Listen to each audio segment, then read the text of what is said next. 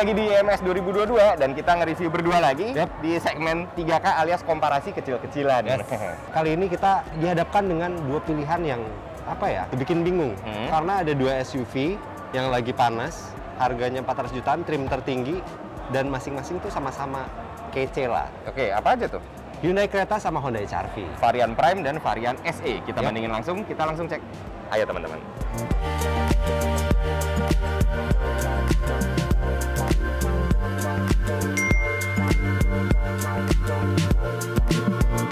Kita mulai dari kereta dulu kali ya? Iya, dari kereta. Ini dari desain dari luar ya. Hmm, Ini lumayan nyentrik mobilnya. bener, gue setuju. Kayak kita pernah bahas sebelumnya kan. Hmm, Itu lampu sama grill nyambung. bener. Ah, dan lampu utama di sebelah split headlamp gitu lah. Sama si shape gembul-gembulnya tuh lucu lah gitu. Ya, dan yang Ini paling paling unik nih. Ya mungkin nggak semua orang suka ya. Nah, iya bener. Ini bagian belakangnya memang cukup unik dan menarik perhatian menurut gue. Ya. Jadi pada intinya sih stylenya kereta, dia stylish juga. Mungkin gayanya lebih eksentrik ketimbang HRV Ya. mungkin ya. Nggak Lebih sih? nyentrik Lebih nyentrik. kereta ya. Eh, Dan unik aja gitu, Mm-mm. tapi sama-sama stylish. Yap. Oke, kita lihat SRV kali ya kayak gimana. SRV dulu. Oke. Dia Sekarang, SRV eksterior ya. oke. Menurut gue, eh, HRV itu mungkin lebih eye catchy, Ki. Lebih catchy. Karena warnanya yang SE ini nih agak anomali, dia warnanya uh, agak rasa-rasa desert, uh, Sahara gitu dan cenderung kayak solid kan warnanya. Iya, tapi Uh, kalau kita lihat detail ini nggak solid ya. nah ini sebenarnya metalik kalau teman-teman deketin. Walaupun nuansanya akhirnya menjadi seperti solid gitu Yes. kan. Dan yang gue seneng juga adalah frameless grillnya ini yang di Ah. tipe SE dan S, eh sorry SE dan E modelnya gini. Satu warna. Satu warna body. Warna body. bener. Kita lihat ke sampingnya. Tapi ini secara shape kalau kita bandingin sama kereta dia lebih minimalis lah. lebih gitu. minimalis karena dia uh, kelihatannya lebih tajam-tajam aja kan Yes. tajam-tajam bukan sesuatu yang eksentrik tapi sesuatu yang minimalis gitu Ya, minimalis. Uh, pada gepeng-gepeng apa segala Ah, macam ah. dan lebih menyiku-nyiku gitu dan eksekusi di belakangnya gue juga cukup senang banget sebenarnya dari HRV ini Ah.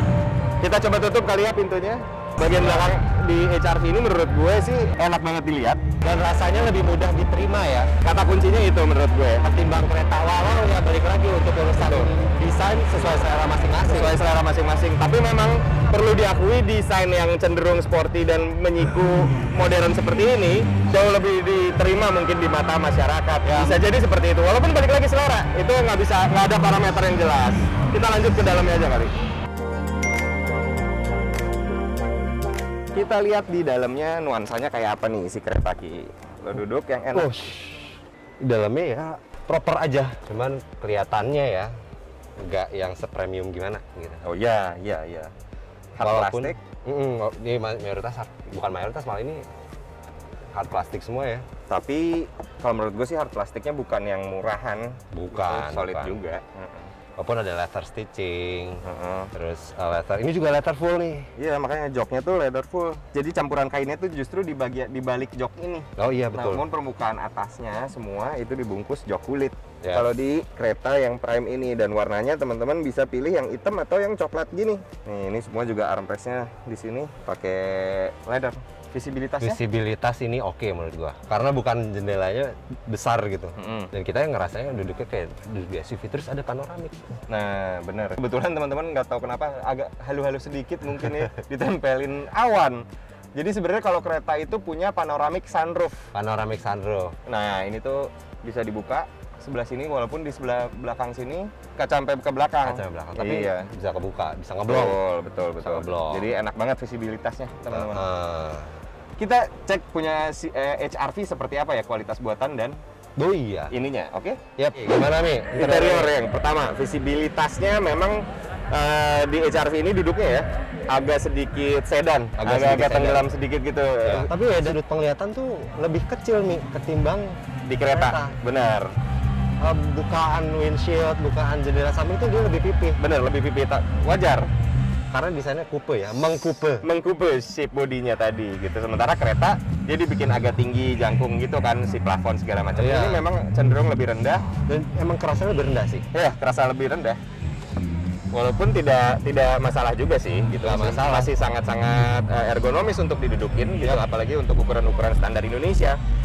Dan materialnya Ki sebenarnya kalau mau ngomong hard plastiknya, gua sih ya? masih ngomong hard plastiknya lebih baik di kereta sih kalau menurut Lebih gue. kereta ya? Ah, solidnya, cuman sama-sama solid.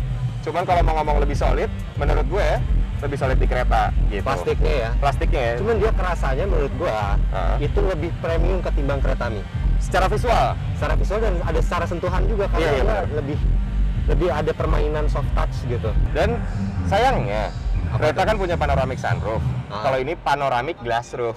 Jadi panoramik aja. Panoramic aja, nggak bisa dibuka sama sekali. Ini glass aja, depan belakang ada ya, nggak ada bukaannya ya. Nggak ada bukaannya. Jadi ya udah kaca tok gitu loh. Dan di belakang nutupnya kan manual tuh eh, tray-nya. Di belakang buka tutupannya kayak T-top ya. Iya, manual gitu diceklek-ceklek. Ceklek-ceklek. Uh, uh, walaupun sama-sama akhirnya bisa memberikan nuansa yang seger juga dari atas karena tetap kaca kan. Sayangnya nggak bisa Yes. dibuka aja gitu sama sekali. kita bahas fiturnya dulu kali ke kereta ya. Nah, benar. Sekarang kita masuk ke fitur yang safety-nya dulu deh Yap. di kereta. Coba. Karena dua-duanya punya ADAS ya. bener, dua-duanya punya ada. Si kereta itu kalau untuk uh, stability control segala macam itu udah lah ya. ADAS-nya untuk kereta itu untuk depan, belakang, kiri, kanan dia udah lengkap dengan Avoidance assist. avoidance assist. Nah, Ya. itu nih. Oh, untuk misalnya di depan ada mau nabrak, Uh-uh. di belakang juga ada rear cross traffic alert dengan Iya. Avoidance assist sama di kanan kiri blind spot avoidance assist. Ya, Jadi dia akan ngerem kalau ada sesuatu yang emang di Eh, jatuhkan bahaya gitu. Hmm, depan, kiri, kanan, belakang itu semuanya punya intervensi ya mobilnya ya. Hmm. Semen- Terus eh, setirnya juga Hmm. untuk bantuan kemudinya itu Hmm, udah ada lane keeping assist sama lane following assist. Jadi ngikutin, ngikutin jalur, ngikutin marka jalan ya. ngikutin marka jalan dan misalnya kalau keluar jalur dia balikin lagi. Betul. Tapi yang nggak ada di sini cruise control adaptif. Biasanya kan kalau udah ada Ya, NIS otomatis ada cruise control adaptif. Ini Betul. nggak ada. Nggak ada. Ini tapi ini tetap ada cruise control sih. ada. Tapi memang tidak adaptif.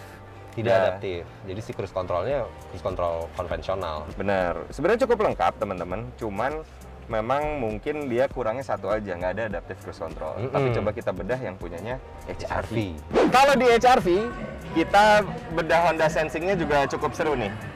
Karena ya tadi dua mobil ini punya ADAS ya. Betul, dua mobil ini punya safety aktif yang cukup lengkap teman-teman. Advanced Driving Assistance System. Betul. Dan kalau di Honda namanya Honda Sensing, itu kalau kita breakdown Ki, isinya ada collision mitigation braking system yang bakal ngerem sendiri kalau misalnya terlalu dekat objek di depan. Road departure mitigation system yang kalau kita keluar jalur dia juga akan eh, akan mengoreksi. Akan koreksi ya. Terus ada yang menang ya dari Honda HR-V ini adalah eh, adaptive cruise control dengan low speed follow. Hal itu yang benar-benar menurut saya kan kepake banget di apa namanya di keadaan sehari-hari ya, apalagi di Ya. kota Jakarta yang lagi padat merayap gitu. Ya, dan itu low speed follow ya. Low speed follow jangan lupa. Jadi bukan nggak nggak pakai minimal kecepatan terus dia mati. Jadi Ya. ada low speed follow juga. Ya. Dan itu yang nggak ada di kereta. Betul. Jadi udah tinggal diem karena di sini ada lane keeping assist juga. Elkas itu Hmm, jadi, jadi rasa-rasa autopilot itu lebih kerasa di sini ya. Bener, rasa-rasa autopilotnya di sini. Cuman memang kalau di kereta tadi ada avoidance assist depan, kiri, kanan, belakang. Di sini Ah, enggak. Ini untuk blind spotnya dia pakai Honda Lane Watch. lane watch ya pakai kamera yang Kamera di spion kiri. ditampilin di sini. Mm-mm. Tapi nggak ada blind spot monitor ya, Blind ada. spot monitornya nggak ada Dan teman-teman. rear cross traffic alert nggak ada ya? Nggak ada juga. Oke. Jadi adanya ya lane watch aja tadi. Lane watch sama multi angle rear view kamera gitu. Hmm. Jadi lebih kerasa orang yang nyetir nih yang Ini jadi condongnya ke sopir ya. betul Fitur-fitur buat kenyamanan kalau kita untuk lagi macet-macetan gitu. Sementara di kereta tadi itu cenderung ke safety ya. Mm-mm. Mungkin ya. Mm-mm. Eh, Lebih ada pendekatannya lebih berat ke safety kali ya. Betul, betul, betul, betul. Tapi di sini juga anyway ada hill descent control. Oh, kayak mobil off-road dong. ini. Iya, iya, jadi nggak cuma hill start assist, hill start assist kan nggak ada tombolnya ya. Jadi kalau turun ngerangkaknya sama dia aja gitu. sama dia, jadi kita tinggal pencet ini, mobilnya akan nahan ketika turun nggak akan ngeglosor lah ibaratnya ya, nggak akan Ngebantu. Kebantu banget. Jadi intinya di fitur ini soal adasnya yang kurang di sini adalah uh, avoidance assist-nya kayak di Hyundai kereta. Tapi kalau soal adaptive cruise control dan low speed follow Ini ada. di sini ada. Lanjut. Lanjut. Sekarang masuk ke fitur hiburan dan kenyamanan. Nah, di kereta ini menarik banget fitur Hmm. hiburannya nih. Untuk hiburan, ini Android Auto, Apple CarPlay. Ini konektivitas uh, smartphone udah lah ya, Yap. lengkap. Tapi dia lengkap dengan audio Bose Hmm, ini yang suaranya beh. Be, ini. Jadi kalau di kereta itu dapat boost suaranya kalau Dapet di boost. varian Prime terus. Itu untuk uh, hiburannya ya. Heeh. Udah gitu untuk kenyamanan. Dia udah lengkap dengan Ini. ventilated seat. Ini yang juga terasa premium di kereta bener Ki, gue setuju Nah, sama lu. yang bikin dia premium mungkin bukan dari material ya, Mm-mm. cuman dari si fitur-fiturnya gitu. Kayak gitu full digital nih, Oh iya, kokpitnya juga cockpit cukup full atraktif. digital. Di sini ada wireless charging. Wireless charger, Terus di sini, nah ionizer, ini nih, dia punya ionizer. ionizer bener. Dan Ini ki. Oh iya, ini penting. Ah, ini penting dan Ini belum banyak di mobil-mobil di Indonesia ya. bahkan iya kayak bisa dihitung jari Iya, yang ada servis kayak ini- gini. Layanan baru lah gitu. Bener. Ini Itu adalah Hyundai Blue Link. Jadi, nah, jadi dia ada dua tombol ini, Heeh. satu SOS, satu B. Mm-mm. ini tuh kayak buat untuk ngehubungin call center. Jadi misalnya si SOS itu untuk keadaan-keadaan yang emergency kayak manggil ambulans, Hmm. manggil butuh ya kecelakaan gitu misalnya ya, itu SOS gitu. Sementara yang B itu untuk roadside assistance. Jadi ban bocor kali ya Hmm, atau mogok. perlu mogok itu akan terhubung dengan si dealer Hyundai Nah, terdekat. anyway tadi soal Blue Link bahkan eh, baru ada di kereta doang teman-teman layanan Blue Link itu. Oh iya, Baru ada di kereta doang dan eh, service centernya itu cepat banget responnya. Gitu. udah dicoba ya. Udah dicoba sama gue. Dan ini tuh ada IOV, Hmm. Internet of Vehicle. Jadi kita bisa ngontrol fitur-fiturnya via smartphone. Hmm, ya. ya kan ya itu mungkin udah ada di merek yang lain tuh Hmm, hmm, hmm. cuman di sini juga ada gitu di kelas ini mungkin baru ini kali ya Baru Five ini seater. sih, baru ini sih five seater kelihatannya. Pokoknya segala pengoperasian dari mulai nyalain mobil, matiin mobil dari mana pun itu bisa lewat koneksi smartphone dan anyway satu smartphone itu bisa terhubung sama 5 device. Mm-mm. Eh satu mobil bisa terhubung 5 device si Hmm. Blue Link itu. Jadi anti anti anti bohong-bohong. ya, iya Anti nggak bisa tuh Nggak main bisa tuh. nggak bisa Kalau istrinya connect, bapaknya connect, anaknya connect, bapak ke mana? Ayo. Ya udah. Kita Oke. lanjut lihat yang punya HRV. oke nah di di HRV nih hiburan nih hiburan Hmm. dan kenyamanan nih Oke. Kalau hiburan dan kenyamanan, kayaknya nggak sebanyak di kereta ya betul banget memang. Memang cenderung agak polosan ki. di harga yang sama nih Ha-ha. dia lebih polosan ya untuk hiburan dan kenyamanan nih Bener bener lebih polosan daripada kalau kita bandingin lah sama kereta tadi ya. yes yes yes Pertama nih yang coba deh lu lihat deh sebelah sini. oh iya Nah, dia, dia pakai klasternya si klaster analog ya betul TFT meter clusternya 4,2 inci doang yang di tengah nih. Nah sisanya Ah. sih ininya analog gitu biasa. Analog. Karena dia baru digital itu kalau yang RS. Yang kedua ada nggak tuh ventilated seat? Nggak ada dong. nggak ada Nggak ada. Tadi anyway joknya juga ini bukan full leather. Ya, full ini joknya campuran campuran fabric dan leather. leather tapi ya tetap terasa Mewah. Cukup terasa ya, premium kok. ketimbang balik lagi ya ini kita balik dulu sedikit Hmm. untuk ke itu ya kerasa mewah di sini sih Di sini ya tetap ya. oke lanjut lagi nih Oke. Terus head unitnya, head unitnya ya udah begitu aja Android Auto, Apple CarPlay dan segala kemampuannya tadi de- dengan speaker yang bukan Bose tentunya gitu. ya jadi mungkin di segi itu dia nggak ser- seseru kereta ya Iya, gue setuju. Kayak tadi ionizer misalnya nggak ada nih ionizer nih ionizer nggak ada. laci biasa nih Ini sih buat nyimpen doang nih kayaknya. Bukan wireless charger ya. bukan ya Ya sebenarnya hiburannya sebatas itu aja sih Ki. Eh, audio dengan kemampuan banyak, udah selesai di situ nggak ada apa-apa ya? lagi cenderung polosan sih sebenarnya. Walaupun balik lagi sebenarnya itu fundamentalnya sih udah terpenuhi ya. fundamental terpenuhi dan audionya juga sebetulnya kalau udah gue cobain ya Hmm, enak-enak juga. nggak buruk juga Oh, enak juga nih. Enak Audio juga. standarnya enak walaupun bukan Bose gitu, tapi enak. ya Tapi kita lanjut lagi kali ya. lanjut Lanjut lagi. Belum beres, kita duduk dulu di belakangnya. Harus dicoba. Harus dicobain, bener. karena ya kalau lu nyetir nggak cuma di depan doang kan Bener. Dengan lagi. rambut gua dengan tinggi gua 172 masih oke lah ya, masih oke. Nyaman nggak menurut lo duduk di belakang di kereta ini? Kalau ini untuk sandarannya fix. fix ya Jadi recline-nya nggak Nah, ada. Satu, recline-nya nggak ada, tapi nggak tegak. nggak tegak. Ini cukup nyaman teman-teman. Eh, di posisi kakinya juga menurut gue sih masih sangat-sangat oke ya. Oke banget. Heeh, di lo juga Dan gitu. nyangganya juga Nyangganya enak, support jok sebelah support sininya nih. eh, di ketek dari kakinya. eh, ketek kaki yang nggak ada namanya ini dalam bahasa apa pun nih. Nah, dan ini nih armrestnya cukup solid. yes, ini armrest solid. Tuh. Oh, ada ada ini glek nih. Mm-mm. Ngeglek dan nahan gitu ada cup holder.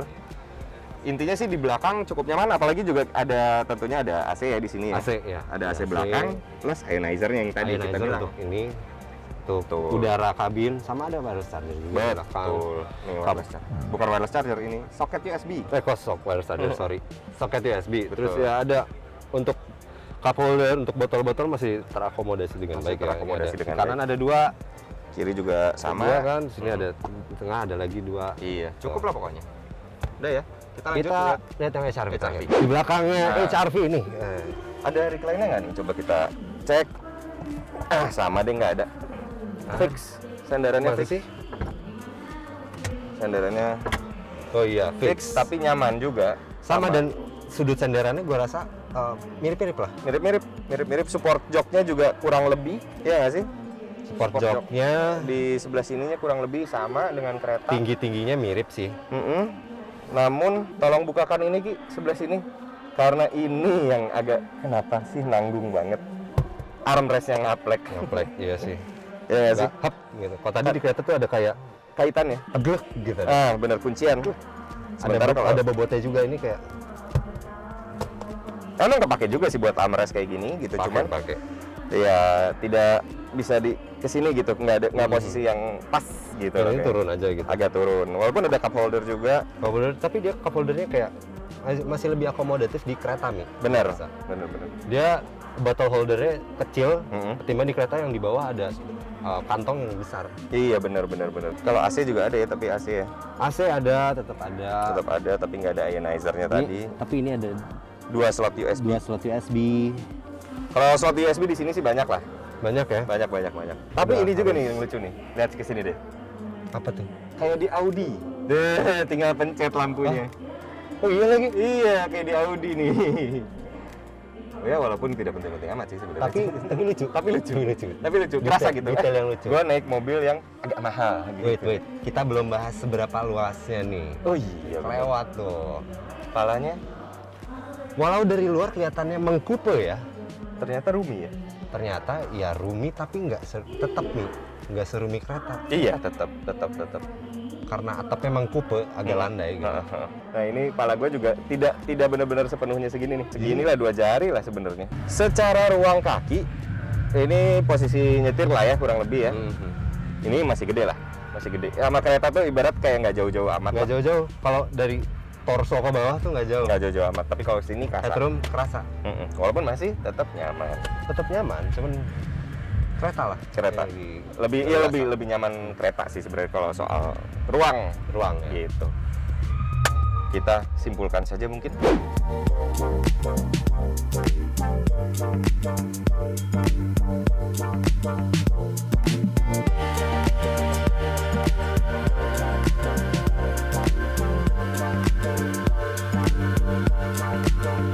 Anyway, kalau soal mesin teman-teman itu di atas kertas ya, di atas data kertas eh, masih lebih unggul HRV dibanding kereta memang. Ya. Tapi kita nggak mau bicara Betul. banyak dulu karena kita nggak ngetes jalan, Betul, gitu betul. dan suspensi dan lain-lainnya. Terus, Dan ini harga dua mobil nih yang bikin pusing. hmm, Harganya mirip banget. asli.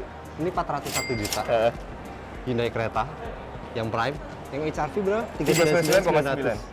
Beda sekojut doang teman-teman. Lanjut 100. Ah, bikin pusing kan milihnya? Bikin pusing. Nah, tapi kalau bisa kita tarik kesimpulan nih dari yang udah kita lihat Hmm, di pameran ini, secara uh, eksterior nih, Mi. Pertama, hmm. Secara eksterior sih balik lagi selera. Selera. Tapi dua-duanya stylish. Yang satu agak nyentrik, yang satu lebih minimalis. Gitu Ya, aja ya. sih kalau menurut Tapi dua-duanya unik lah ya. Dua-duanya unik. Yang paling utama sebenarnya dalam kabin yang udah kita coba ya. Ah. Menurut lo nuansa kabin nih? Hmm, nuansa kabin itu menurut gua kalau di uh, HRV memang Hmm. secara visual terlihat lebih premium gitu, Ya, sementara di betul. kereta uh, Lebih yang lebih biasa aja biasa, visual lebih ya biasa. ini secara Visual penglihatan. Tapi kalau secara material sebenarnya 11 12 teman-teman. Plus minus. Plus minus. Plus gitu. minus. Maksudnya di kereta ini dia nggak banyak bungkus-bungkus soft padding, Mm-mm. sementara di HRV ada. Dan tapi ini dia punya jok letter yang full. Nah, bener. yang HRV Campuran fabric. campuran fabric, ya itu masing-masing lagi. Selera Yang juga. mana. Kalau soal fitur ADAS, Fitur ADAS itu juga plus minus. plus minus lagi ya. Heeh. Jadi di kereta itu mungkin condongnya ke arah safety. Hmm. Karena ada yang avoidance assist itu. Iya bener, depan, kiri, kanan, belakang itu semuanya Avoidance assist. intervensi mobil lah ada gitu. intervensi. Bener. Sementara di HRV dia intervensi rem itu yang maju doang. Hmm.